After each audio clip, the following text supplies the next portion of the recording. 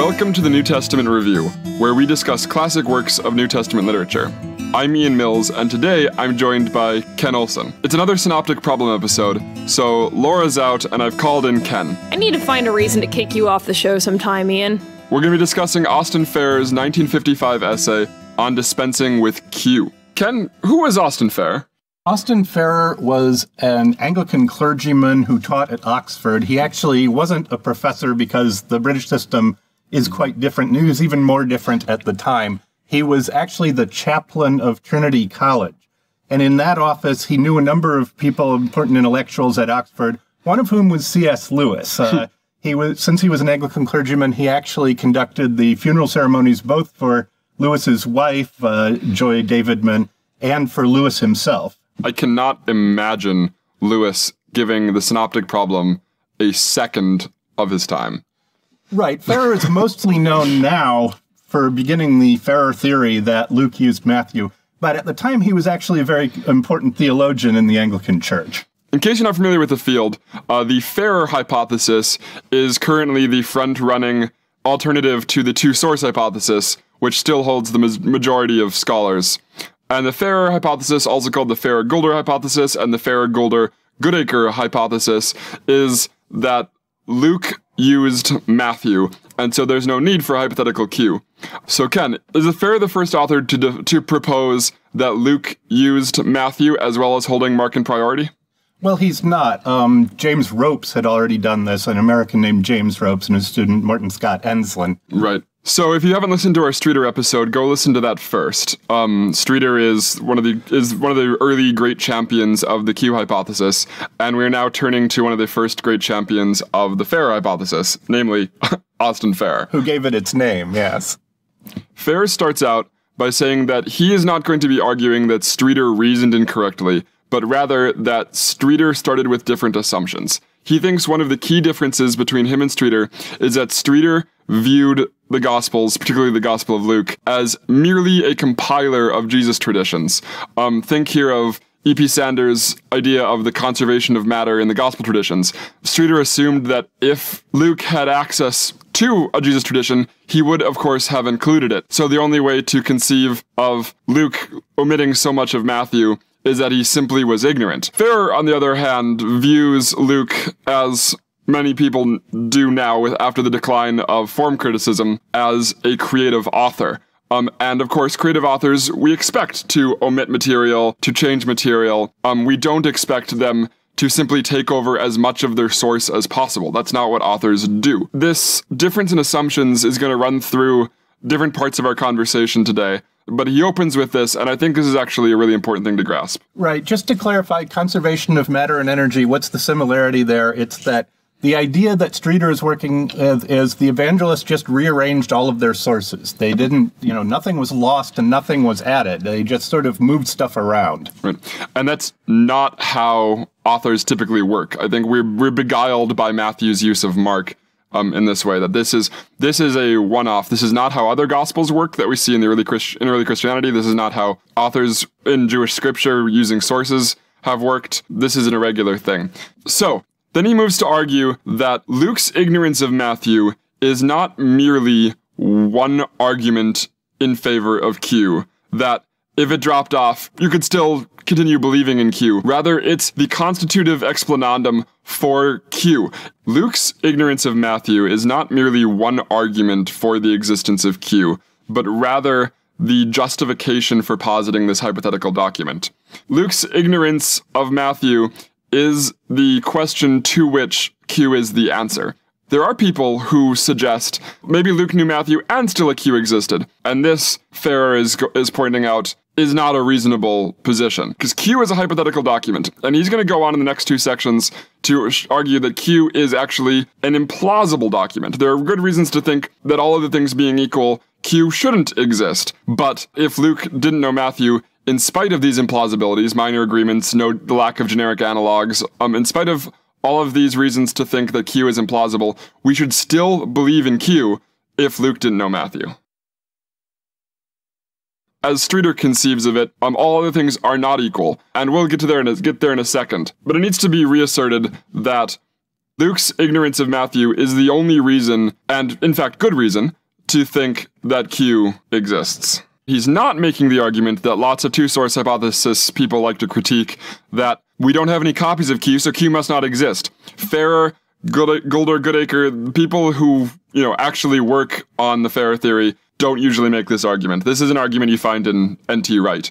One more thing about that is that when you when you need to posit Q, uh, point is they don't they're not they don't compete on an equal footing. All he has to do is show that Luke's use of Matthew is plausible. He doesn't need to show it happened exactly like this. He just needs to show it is plausible that Luke knew Matthew, therefore we don't need to hypothesize. Right. There are, of course, circumstantial reasons for thinking that Luke's use of Matthew is plausible. They're both Gentile Christians. They both live in communities where Mark circulates. I would suggest there's no reason to think that early Christian communi- literary networks are hermetically sealed, geographically isolated communities. These are people living probably in cities and interacting with other kinds of Christians. the gospel, this is not an argument for unfair, but the gospel of Mark transgressed the largest early division in early Christian theology between law observant Christians like Matthew and non law observant Christians like Luke. And if this document can transgress such boundaries, um, there's no reason to think that Matthew doesn't cross over to reach Luke the way Mark did. And I think I would urge caution there because Farrer actually does say that both Matthew and Luke are Gentile Christians. And right. I think I don't necessarily agree that either of them, they could have been, but I don't know that either of them was. Fair enough. Yeah. Farrer then raises a number of reasons to think that Q is a priori, that is, before looking at the textual arrangement of the Gospels, Q is implausible. Uh, just a reminder, he's going to go on and say that in spite of all these things, Q must exist if Luke doesn't know Matthew. First, Farrer says there are no generic analogs. Right, and what does he mean by that? It's sometimes thought that uh, Farrer meant there uh, was no such thing as a saying source, and then, of course, uh, the Gospel of Thomas, which was first published around the same time, shows there were such things as a saying source. Well, he didn't say there were no saying sources. It's not quite clear what he meant, but what he said was there are no generic analogies for something like Q. We don't see something that looks like Q, which starts out with a strong narrative exordium or introduction. It talks about John the Baptist and the baptism of Jesus, and it's got this strong narrative. And then all of a sudden we get these sayings, and some of them aren't even attached. We don't know who's speaking them. Mm-hmm. It doesn't say that. And then it ends with a bunch of oracles about something that's going to happen in the future.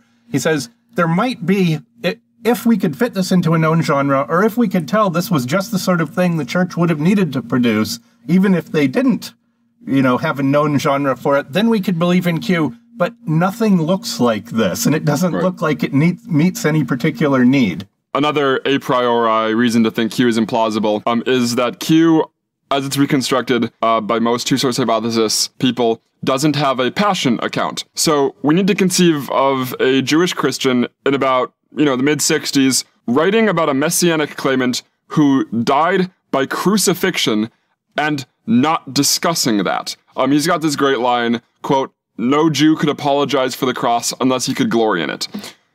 We've sort of lost sense of how scandalous a death by crucifixion is. But the notion that a Jewish author could believe someone was the Messiah, um, who died by crucifixion, and just not discuss that or think that was irrelevant to his messianic claims, Farrer is going to say is really, really implausible. Rather, everything we see from early Christianity, that is until we reach Gnosticism at least, who sometimes, who more or less deny that Jesus was in fact crucified, everything we see from the early Christians is that in order to continue believing that Jesus was Messiah, they had to argue that Jesus had to be crucified, that the Messiah that the Messiah was prophesied to be crucified and he had to. So this is, they, they gloried in it, uh, as Farrer phrases it.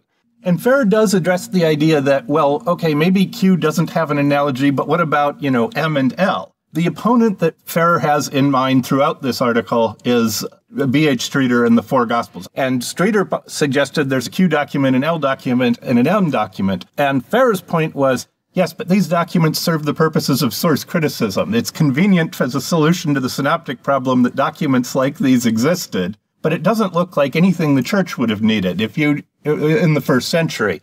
Like write out everything that's in M, write out everything that's in L. They don't look like documents. Uh, neither does Q. And the, the vast majority of scholars today who accept the Q theory would still agree that Farrer was right with respect to L and M. There wasn't an L document and there wasn't an M document. The letters L and M just refer to the things that are only in Luke and the things that are only in Matthew. Then we turn to the a posteriori evidence for a genetic relationship between Matthew and Luke. That is, evidence from the data of the Gospels that Luke knew Matthew, and so Q doesn't exist. And I remind you, we are still in Farrer's Prolegomena. He is still, after all of this, uh, going to say that if there are further reasons for to believe that Luke didn't know Matthew, then we are justified in explaining all of this away. Um, but but what is the textual evidence for Luke's knowledge of Matthew? These can be broken into minor and major agreements, or minor agreements and Mark Q overlaps. So the minor agreements are places where Matthew and Luke are both copying a story out of Mark, but they make the same change to Mark. They both agree with each other against Mark on a small detail. So in the Passion narrative, Jesus is blindfolded. Um, there's no Q here, uh, even according to the Q source theorists. In both Matthew and Luke, the guards say to Jesus, Who is it that struck you? This is not present in Mark. So here we have an addition in both Matthew and Luke that's absent in Mark. Similarly, in the nativity scene, Matthew and Luke's nativity, where there is no nativity in Mark, Matthew and Luke agree verbatim on this phrase, you shall call his name Jesus, which an angel says to Mary or Joseph respectively. So this is another place where there is no Q, but Matthew and Luke are adding something, but Matthew and Luke agree together. One more in the preaching of John the Baptist, Mark has John the Baptist say, he will baptize you in the Spirit. And Matthew and Luke both add, and with fire. This sort of thing shouldn't happen. Uh, Matthew and Luke are copying the preaching out of Mark, and both add this phrase, three word phrase, and with fire. So these are agreements that shouldn't exist. And Farrer's objection to what Streeter did was that it simply atomizes the evidence. He makes a generalization. Well, there aren't any cases where Matthew and Luke agree against Mark. Well, okay, so there are a lot of cases where Matthew against Mark, but some of those are due to Mark Q overlap. Some of them are scribal error harmonization. Some of them are due to a different use, a, a, different version of Mark, either an earlier version of Mark or a later version of Mark. Sometimes it's coincidental stylistic changes. Sometimes it's a, a theological correction to Mark.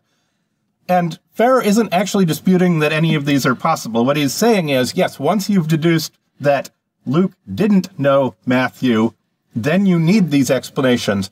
But if you don't accept that in the first place, yeah, there are a lot of places where Luke and Matthew agree against Mark, and that should count as evidence that Luke knew Matthew. So, in addition to these five categories of, coinc- of ex- ways of explaining coincidental agreements between Matthew and Luke, uh, Streeter has a sixth category, which are substantial agreements that don't work with any of these other solutions. And these come to be called in the, the study of the Synoptic Gospels the Mark Q overlaps, because Streeter says in these cases, Mark and Q both had the same story, and Matthew and Luke copy out of Mark uh, part of the story, and then both together turn to Q. So, famously, the temptation. Uh, Mark's temptation story is really short. Uh, Matthew and Luke both add these three episodes, these three specific temptation episodes. Beelzebub controversy. Uh, Matthew and Luke both add the phrase, if it is by the Holy Spirit or the finger of God that I cast out demons and the parable of the mustard seed, the preaching of John the Baptist. So there are these places where we have Matthew and Luke making substantial additions to the Gospel of Mark, where they are also copying verbatim out of Mark.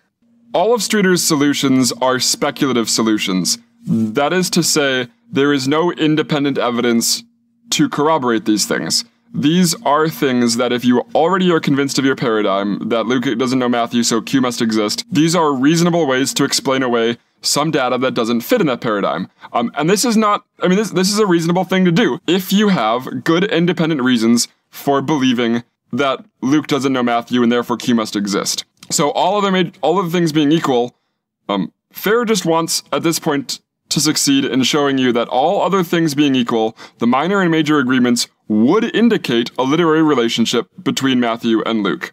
For Streeter, of course, all things are not equal. The evidence against Luke's knowledge of Matthew justifies making these speculative solutions.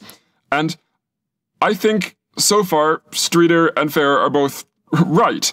Um, this is methodologically sound. Ken and I both believe in the reasonableness of the Q hypothesis. People who dismiss Q as just speculative or they don't know what they're, we don't have any manuscripts of it, so we shouldn't believe in it, don't understand the issue. Q hinges on whether or not there is evidence of Luke's ignorance of Matthew strong enough to justify speculative solutions to explain away all the data we just covered. So I think that part of the chap that part of the article is really important for laying out the methodological structure of the issue.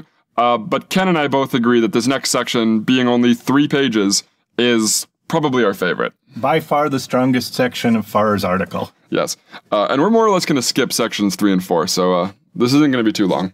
So in section two, uh, Farrer lays out five principal reasons that we would think St. Luke could not have read St. Matthew.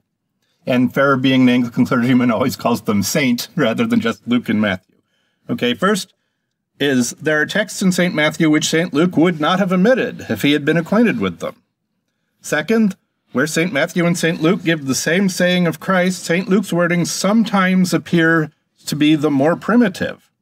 That is, he has an earlier version of the story. Third, uh, if, if, Luke had, we have a model for how Luke writes. We know how he used St. Mark, so he, we would expect that he would have used Matthew in the same way he used St. Mark, and he's kept Mark in the same order that Mark had it. Right? When he uses Mark's material, he follows Mark's order.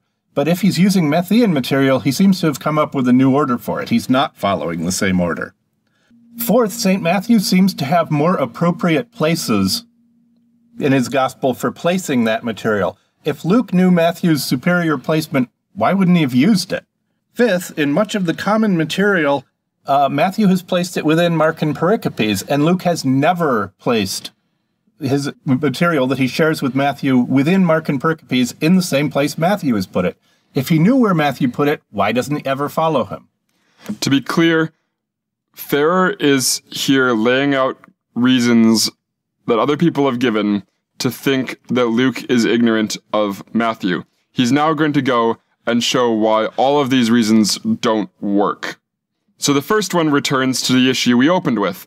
Luke is an author, not a compiler. He's writing a story, not simply putting together all of the Jesus traditions he has received. So there is no reason to think that if Luke had access to Matthew, that he would have to take over all of Matthew's material. This again returns to Sanders' argument about the conservation of matter and energy. Authors in antiquity and today don't think that when you're using a source, you need to pull over all of it. Um, they select what is appropriate, they change where needed. Um, Luke is not using his sources the way the form critics assumed he must have. The second argument for Luke's not what lack of knowledge of Matthew is that Luke seems to have the earlier version of some stories. This is called alternating primitivity. Sometimes Matthew has it, sometimes Luke. And if Luke has the earlier version of a story, then it, he must not be getting it from Matthew.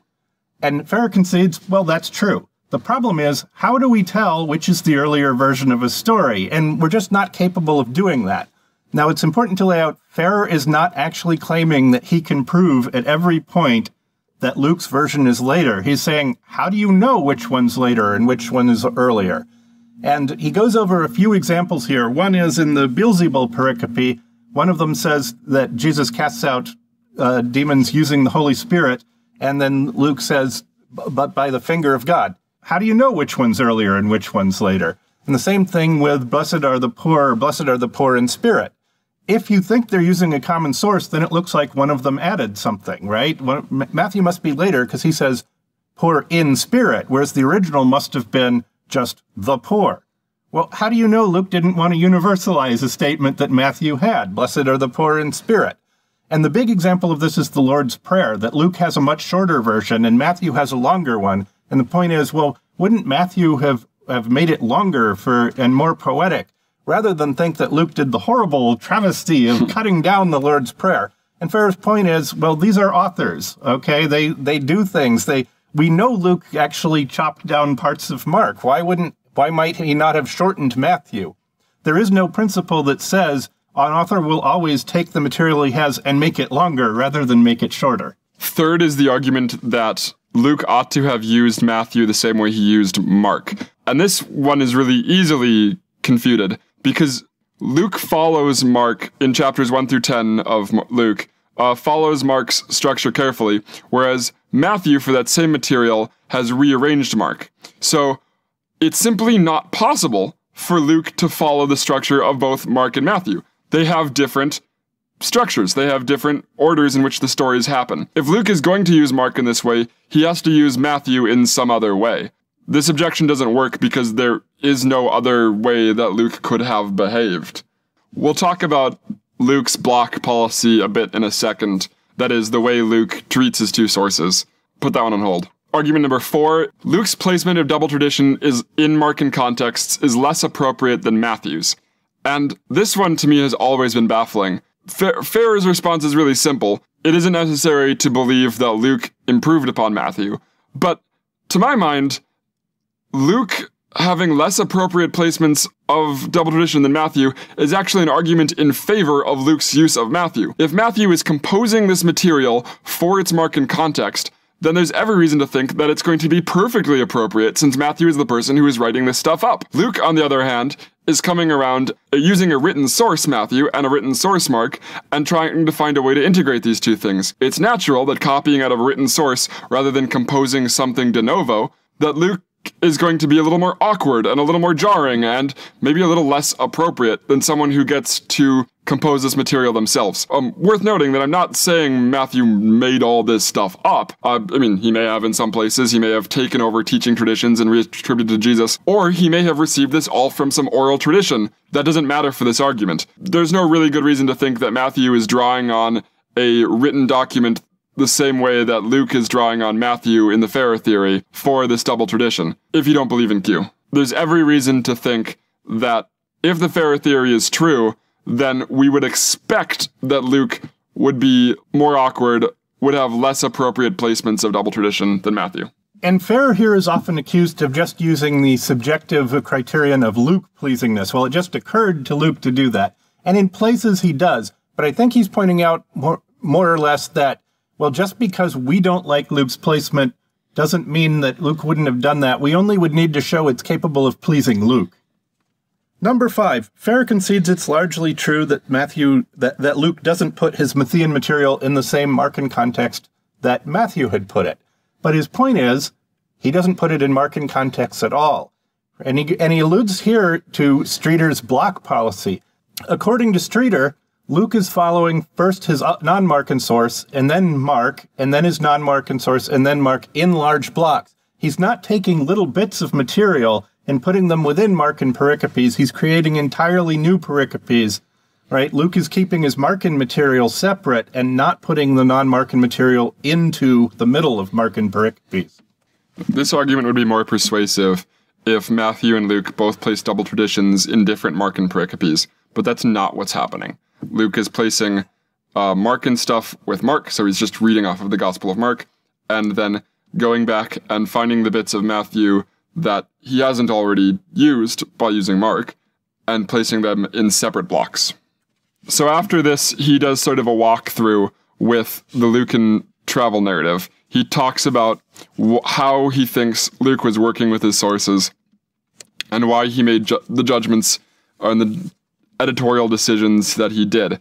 Um, he invokes this notion of the Matthean hexateuch. He comes up with his explanation for why Matthew arranged his gospel into these six sections, and then and, and explains Luke's redaction of this material in imitation of Deuteronomy. And we're not going to spend a lot of time on these latter sections because they haven't proved influential. Yeah, as far as I know, no one writing on the Farrer hypothesis has actually followed Farrer in thinking that the particular Old Testament references he that he thinks influenced Luke are the reason that Luke arranged the Matthean material in his central section from chapters 9 or 10 through 18. Like, nobody follows Farrer in doing that. And there's one part where Farrer says, why St. Luke did what he did rather than anything else cannot be the question. He did what he was moved to do. and he can fairly be accused of just making this an entirely subjective thing. Luke did put it there because he felt like it. At the same time, the, what, what is meritorious in this section is that Farrer is acknowledging that we should treat Luke like an author, not as a scribe or compiler. So Ken and I, like all other Farrer theorists in the world, aren't really persuaded by the argument of this section, but we can defend what Farrer is trying to do. Explain Luke's behavior as the work of a creative mind. I mean, certainly Farrer, to make the kinds of arguments he's making, needs further controls um, for them to be persuasive and not merely, you know, sort of a entertaining disquisition on the possible psychology of Luke. Right, and to put that another way, it means you'd have to be able to explain how subjectively this could have attracted Luke. Luke might have liked to have done it that way. You can't simply assert, well, Luke Luke liked it, and he did it that way. But you can't substitute your own judgment of, well, I don't like it, so therefore Luke didn't do it. Well, that's all for Farrer's on dispensing with Q. Ken will revisit the podcast someday to discuss Downing's towards a rehabilitation of Q, which is another two source theorist. Then maybe I can get him back to do Goulder and Kloppenborg and Goodacre. Thanks, Ken. Pleasure to be here. Leave us a review. It's easy. Open your podcast app, find our show, scroll down, hit five stars. More people will find us. Leave us a positive review, though. Yeah, you can only leave five star reviews. You can find more about us on Twitter at Newt, N E W T, review, or email us at New Testament Review at gmail.com. Thanks to Mitch and Luke and all the guys from Carnegie for letting us use their song in the intro and outro music of the podcast. You should check them out. I've seen brighter stars than you. I